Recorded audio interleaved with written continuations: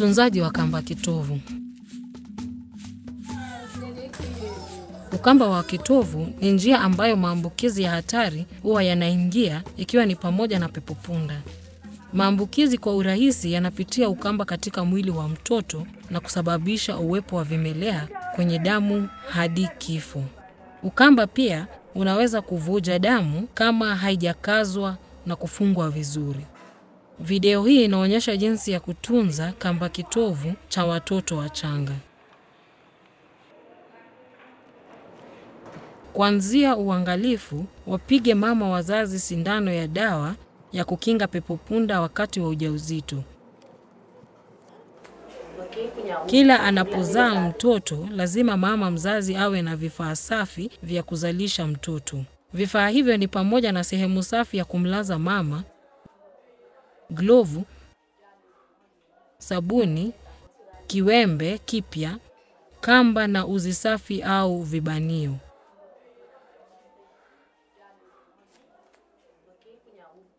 Kamba zinatengenezwa na uzi nzito au tepu nyembamba isiyopungua sentimita 15 kwa urefu. Kwa upana, umbali kabisa baina ya kidole gumba na kidole cha kwanza. Urefu huo unatosheka mafundo matatu labda zaidi.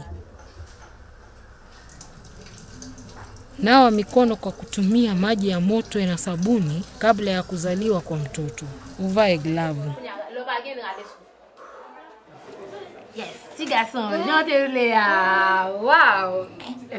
Baada ya mtoto kuzaliwa bila matatizo, usikate kamba hadi mtoto ameshaacha kudunda-dunda muda wa dakika chache baada ya kuzaliwa. Kufanya hivyo kunamwezesha mtoto kupata kiasi cha kutosha cha chuma ambacho kwao kinazuia maradhi ya upungufu wa damu. Ili kuzuia damu kutotoka kwa kisiki cha ukamba, funga au weka kibanio kwa kamba. Kufunga uzi, pima urefu wa pana mbili za vidole kutoka kwa kitovu cha mtoto, ndipo kufunga fundo la kwanza. Funga mafundo matatu yaliyokazwa vizuri.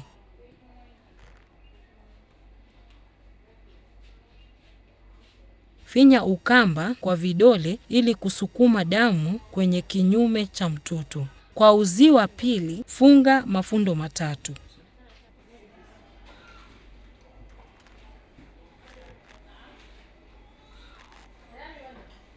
Kata kamba kwa kutumia makasi safi kabisa ama kiwembe kipya. Hakikisha kukata mbali na mtoto. Kutumia kibanio. Pima urefu pana mbili za kidole kutoka kwa kitovu cha mtoto. Weka kibanio ili kimeshika vizuri. Finya ukamba kwa kidole ili kusukuma damu kwenye kinyume cha mtoto.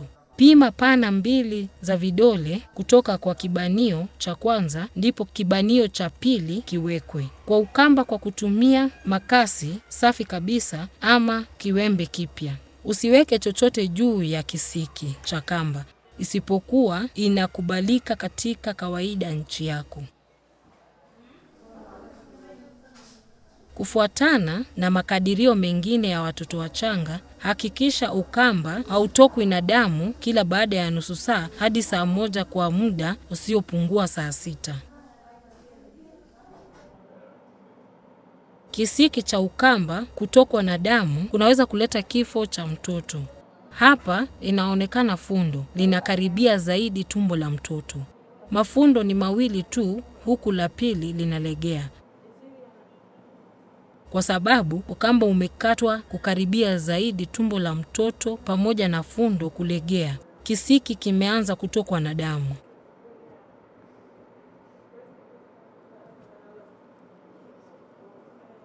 Funga tena au weka tena kibanio kama kutokwa na damu kokote kunaonekana.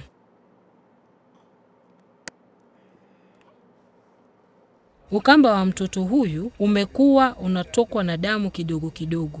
Hali ya kishindo imetokea kutokana na ukosefu wa damu nyingi. Mtoto anahema kwa upesi. Midomo pamoja na vigubiko vya macho vinakosa rangi. Unaweza kukinga dhidi ya dharura hizo kwa kufunga kamba vizuri. Katika muda wa siku chache zifuatazo, kisiki cha ukamba kinakauka. Rangi yake hubadilika kutoka rangi ya manjano hadi manjano mazito na kuwa rangi ya kahawia, kisha unyeusi mwishowe hujitenga. Jeraha hupona katika muda wa juma moja au majuma mawili. Shauri mama na jamaa kunawa mikono kabla na baada ya kuangalia ukamba wa kitovu.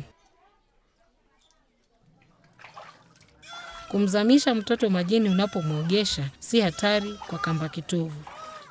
Kama ukamba unachafuka, safisha katika maji safi kwa sabuni. Kausha ukamba kabisa. Weka kitambaa chini yake. Kufuatana na tamaduni nyingi, ni kawaida kuufunika kamba ukibana tumbo la mtoto na kitambaa. Kitendo hiki si kizuri, afadhali kutofanya kwa vile kinazuia kamba kukauka, huenda kinaleta maambukizo. Badala yake, shauri jamaa kuuacha wazi ukamba, kukaribisha hewa au ufunikwe kulegea kwa kutumia nguo za mtoto.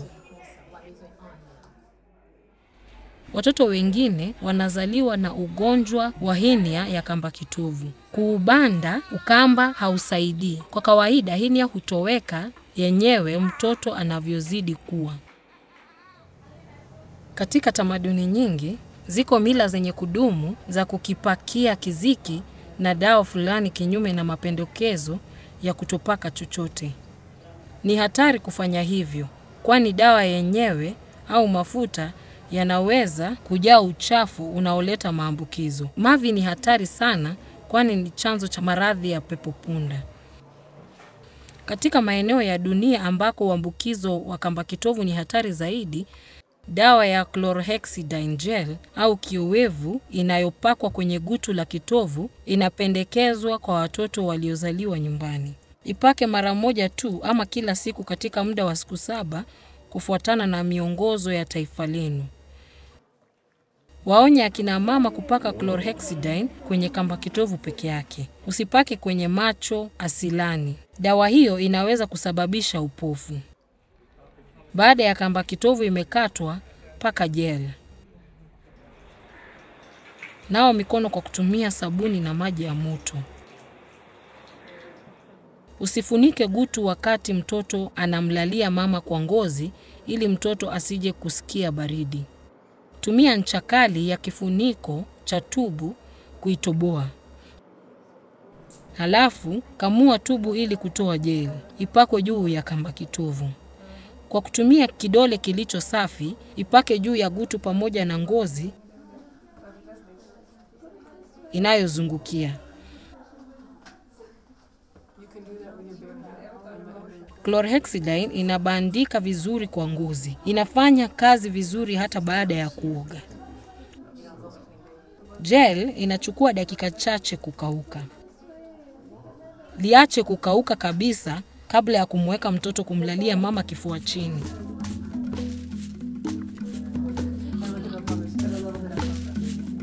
Kumbukeni, vitendo vya uangalifu wa kamba kitovu viwe na hali ya usafi. Tumia uzi mzito au vibanio vilivyo safi kushika ukamba. Kata ukamba kwa kutumia kiwembe kipya au makasi iliyo safi kabisa. Tazama ukamba kugundua kama inatokwa na damu. Usipake chochote kwa kamba kitovu au chlorhexidine kufuatana na miongozo ya taifa lenu.